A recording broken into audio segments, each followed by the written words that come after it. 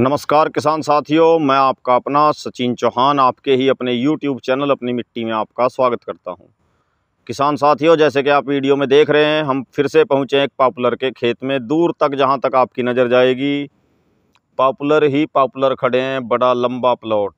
किसान भाई ने खेत को पानी लगाया है कुछ दिन पहले, और इसके बाद शायद गेहूँ की तैयारियाँ की हुई हैं, खेत को साफ़ सुथरा किया हुआ है। आज की वीडियो बड़ी महत्वपूर्ण होने वाली है। किसान साथियों, वीडियो के साथ अंत तक जुड़े रहें, वीडियो पूरी देखें, तभी आपको जानकारी पूरी मिलेगी, तभी आपको बात समझ आएगी। आज जो महत्वपूर्ण बात आपको बताने जा रहे हैं किसान साथियों, वो बात ये है कि अच्छी नस्ल के पेड़ की पहचान कैसे करें। आपको कैसे पता चलेगा भाई, अच्छी किस्म का पेड़ कौन सा है? मैं अक्सर अपनी वीडियो में आप लोगों को एक बात बताता हूँ, भाई विमको कंपनी में विमको एक सोनो का पेड़ ही सबसे बेस्ट क्यों क्यों हमारी पहली पसंद क्यों है? देखिए, सभी की अपनी अपनी चॉइस होती है अपनी अपनी पसंद होती है, सभी को अपने अपने हिसाब से पेड़ लगाने का पूरा अधिकार है। वो सब की अपनी पर्सनल चॉइस है, मैं उसमें नहीं जाना चाहूँगा, लेकिन मेरा जो उद्देश्य है, मेरा जो मकसद है, वो किसान भाइयों को सही जानकारी देना है, ताकि उनके साथ किसी प्रकार का कोई छल कपट ना हो, किसान भाइयों का कोई नुकसान ना हो।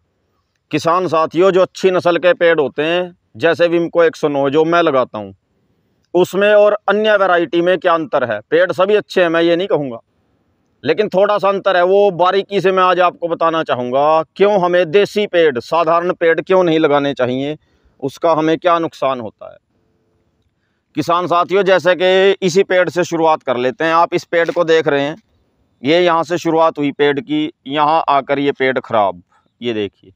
और ऊपर जाऊँगा मैं, यहाँ आकर आप देख सकते हैं, बीच में देखिए, इसमें टेढ़ापन इसमें आप देख सकते हैं यहाँ पर ये पोरी ख़राब हो गई, ये तिरछा हो गया है यहाँ। पेड़ में तिरछापन।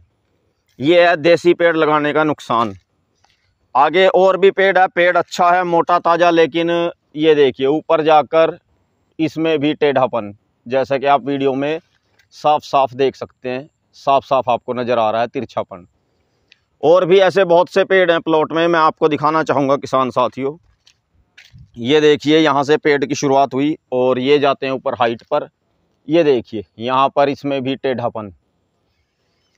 अब एक और पेड़ मैं आपको दिखाना चाहूँगा, किसान साथियों, यहाँ से पेड़ की शुरुआत होती है और ये गया पेड़ यहाँ से और ये ऊपर जाकर आप देख सकते हैं, इसमें भी टेढ़ापन। ये है साधारण पेड़ लगाने के नुकसान। अब मैं आपको दिखाना चाहूँगा, जो कि मेरे पसंदीदा पेड़ हैं, विमको 109 जो मैं लगाता हूँ अपने खेत में। इस प्लॉट में भी विमको 109 के भी कुछ पेड़ हैं। ये बिल्कुल बाउंड्री पर खड़ा है, किनारे पर एक पेड़। विमको 109 पहचान भी आपको बताऊँगा। इस पेड़ की पहचान क्या होती है कि इसका जो कलर होता है, वो ब्राउन शेड ज़्यादा होती है इसमें। ये इसकी पहचान है सौ नौ की, और इसके ऊपर ये जो धारियाँ सी बनी हुई है लाइनें सी, जो लाइन्स निकली हुई है, ये इसकी पहचान होती है, और साथ ही इसकी जो कलर होता है, वो आप अलग ही देख सकते हैं ब्राउन शेड होती है इसकी। काफ़ी अच्छा आकार और ये बिल्कुल सीधी पोरी ऊपर तक। जहाँ तक भी आपकी नज़र जाएगी, आप देख सकते हैं, विमको एक सौ नौ का पेड़, कितना सीधा पेड़, सीधी पोरी अच्छा आकार। पहचान मैंने आपको बताई कि ब्राउन शेड होती है इसकी। तो किसान साथियों, आप जब भी पेड़ लगाएँ, देखिए जब भी आप पेड़ लगाते हैं, कम से कम तीन से चार साल, हमारे एरिया में तो तीन से चार साल तो लगते हैं। बाहर जो और जगह, जो ज़मीन है, वहाँ कहीं पाँच या छः साल लगते हैं। तो जब आप पेड़ लगा ही रहे हैं और चार से पाँच साल के लिए अपने खेत को आप भर रहे हैं पेड़ से, चार से पाँच साल के लिए आपका खेत बाउंड हो जाता है पेड़ से। तो किसान साथियों, क्यों ना अच्छी किस्म के, अच्छी नस्ल के पेड़ लगाए जाएँ? पेड़ को जब आप लेते हैं, कहीं से नर्सरी ख़रीदते हैं, उसे ध्यान से देखें, परखें, और ये गलती कोई भी किसान भाई ना करे, ये देखिए यहाँ कर फिर बीच में टेढ़ापन। इस साइड से दिखाना चाहूँगा, रोशनी ठीक आएगी। ये देखिए किसान साथियों।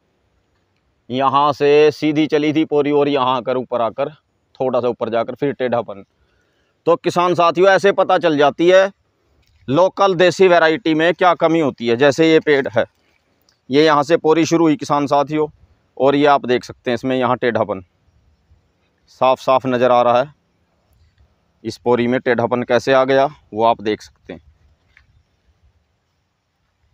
तो किसान साथियों, पेड़ जब भी लगाएँ, आप अच्छी नस्ल के, अच्छी वैरायटी के पेड़ लगाएँ, सोच समझ कर आप पेड़ लगाएँ, साफ़ सुथरे पेड़ लगाएँ।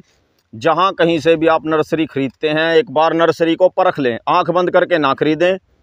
जब भी नर्सरी ख़रीदने जाएँ, पॉपुलर के पेड़ ख़रीदने जाएँ, खुद खड़े होकर चेक करके पेड़ लें, सीधे पेड़ ख़रीदें। सीधे पेड़ की वैल्यू ज़्यादा होती है, पूरी सीधी चलती है, उसका रेट भी अच्छा मिलता है।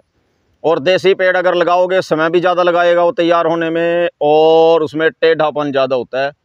टेढ़ी मेढ़ी उसकी पोरी होती है तो फिर जब आप सेल करते हैं तो जो ख़रीदने वाले होते हैं, ख़रीदार, ठेकेदार, वो ऐसे कमियाँ निकाल देते हैं कि ये टेढ़ी पोरी है, टेढ़ा प्लॉट है, ये लकड़ी सीधी नहीं है। तो ऐसे करके वो वीक पॉइंट बताते हैं और आपके मेहनत जो आपने इतने साल में पेड़ तैयार किए, वो कहीं ना कहीं आपको वहाँ नुकसान होता है। तो किसान साथियों, जाँच परख कर पॉपुलर की नर्सरी खरीदें, अच्छी नस्ल के पेड़ लगाएँ देख कर पेड़ लगाएँ। आज की वीडियो आपको कैसी लगी, आप वीडियो देखकर लाइक कमेंट करके ज़रूर बताएँ। और नए साथियों से कहना चाहूँगा, चैनल को सब्सक्राइब करें। धन्यवाद।